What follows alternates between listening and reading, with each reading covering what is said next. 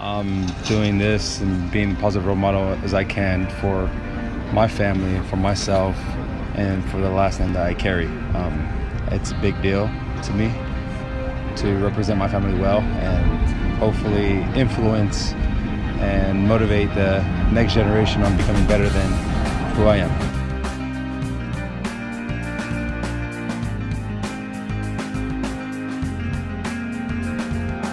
That's a great amount of responsibility that I enjoy. Um, you know, not a lot of Mexican quarterbacks have gone through the Division One rankings.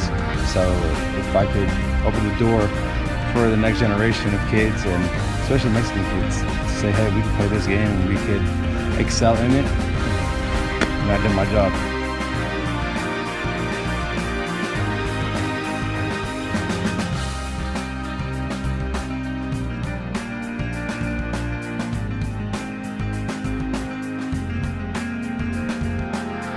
Different. Uh, people don't typically see the Mexican quarterback. They don't see the last name. They, they don't see our skin color making plays.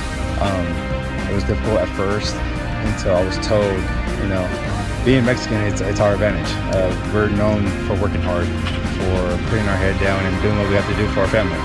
And um, my father, and my family, and the small group village that helped raise me, helped instill that in me of hey, you're gonna have to work hard. People are gonna doubt you. That's fine.